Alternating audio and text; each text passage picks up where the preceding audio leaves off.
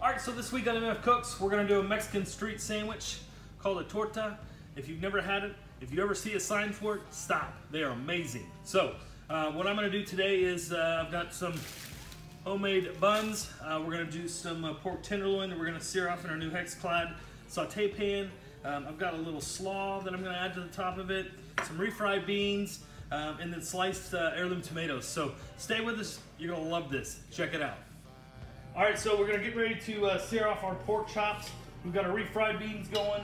We also have our enchilada sauce going, and I did make a a spicy coleslaw that we're gonna add to the top of this, heirloom tomatoes, and I forgot to mention we're gonna throw some uh, some Swiss cheese on this as well. So let's see how this goes. We got our new hex HexClad saute pans. All I did was some cumin, um, a little bit of garlic powder, and that's it.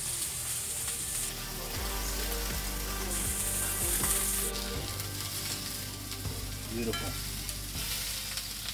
Beautiful, beautiful.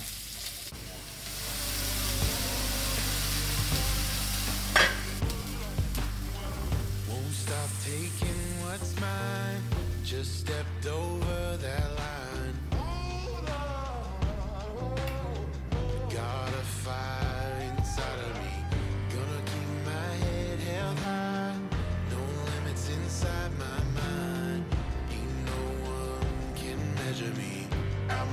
I'm a king, I'm a god, yeah. You're gonna feel my burn. Get out the way now. We've wrapped up uh, putting our sandwich together. The Mexican uh, street sandwich called the torta. Uh, I just put on this sauce. We're gonna get a get into this, take a bite of it. Holy smokes, you gotta see that. Look at that thing. Holy crap. Now I took out part of the dough so I could fit more of the ingredients in here. So let's get a bite of this. Holy crap. Is everything in my face?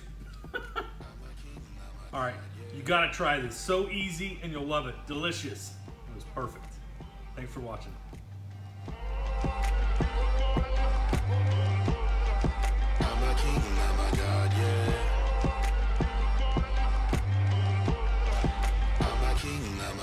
yeah.